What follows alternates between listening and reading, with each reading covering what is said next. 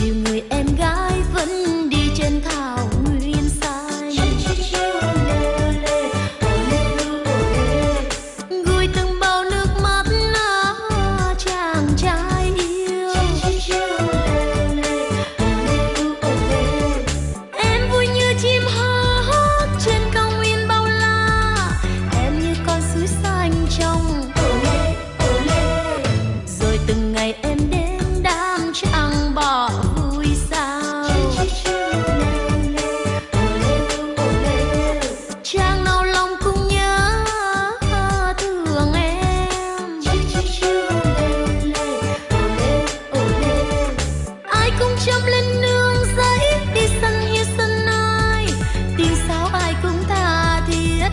trọn tình yêu ai